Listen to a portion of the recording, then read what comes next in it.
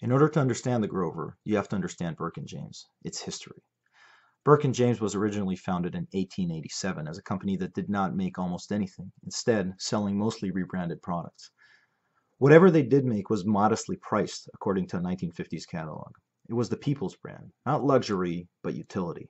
This was at a time before people used cameras as fashion accessories. Kind of like Chrysler in the mid 80s to late 90s, when it pushed captive imports like the Eagle, a rebranded, badly designed French car that as a whole, in kind of a postmodern way, started out as a nothing, but ended up becoming a something when it got slapped with a new badge. Burke and James aimed at the user, the person just starting out or someone who didn't want to blow his wad on gear a real photographer, not a poser. There is just nothing to brag about with the Burke and James, and so why would you carry it if not to actually use it? It will never be an extension of yourself, perhaps in the same way that any other product is designed to make you feel like a more whole being, a better version of yourself, if you just bought it. And notice I did not say someone who did not want to blow his wad on gear so he could concentrate on image making, because even back then there was good gear and just okay gear, and the good gear meant, and still does today, that you only need to spend so much effort physically and mentally in actually working the camera, and anything that's left over is available for image making. But Burke and James cameras always meant that you needed to spend more effort on the gear side than the image side. It was not just what the brand represented, even if the cameras worked perfectly, and some really did. It was just how they were made, simple and cost effective, which often meant the finish and handling left some things to be desired. Just like Chrysler of the 80s and 90s, Burke and James was so American, it wasn't even made in America. Like those Chrysler captive imports and post-NAFTA cars, which were only American by self-determination, Burke and James bought bottom-of-the-barrel lenses from other makers. Lenses that did not make the grade of those companies' quality control. Burke and James bought these lenses, promised to never mention the original makers and brand name, slapped on a Burke and James sticker and marketed it as their own. Sometimes, they even had their in-house workshop re-engrave these captive import lenses with the ambiguous name Carl Mayer.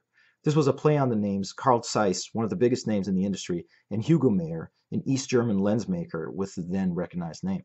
In perfect postmodern fashion, Burke and James took a part of each of these names, combining them to make something completely different, perhaps making people think that these lenses were something more than they actually were. However, unlike what Chrysler tried to do with the Eagle, these lenses were essentially good lenses that just did not make the grade because they had minor manufacturing defects or mismatched cells, preventing them from being sold under a serious or a luxury brand name. And while they might not have been good enough for the pixel peepers and posers of the time, they certainly were good enough for most actual users for all intents and purposes. Even in the same model range, there are almost no two of these cameras which are the same. Perhaps due to the fact that they did not all follow the same design, not all came from the same place, were made by the same people or even in the same factory. And Burke and James moved around. They had at least eight different addresses before being bought out by Burleigh Brooks in the 70s. This is a bit like Soviet tanks, no two of which are the same. Like two Grover cameras, two Soviet T-55 tanks might look the same on the outside, but there are no two which are exactly the same. No parts are interchangeable, not even a screw or a bolt, because like the Grover, they too do not all follow the same plan, come from the same place or built by the same people or even the same factory. Some Grover cameras have a single rear frame, some have a double. Some have a geared monorail, some have a friction rail. Some have a Bakelite front frame, some have a wooden front frame, some have big knobs and little knobs, some have only big knobs or only small knobs. Finally, there is the name. And the name is important like everything else about the Burke and James. The name suggests something about the camera beyond its actual physical properties.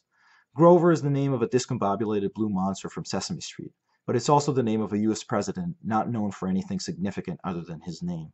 A sensible, stable, scandal-free period, which you only vaguely remember anything about.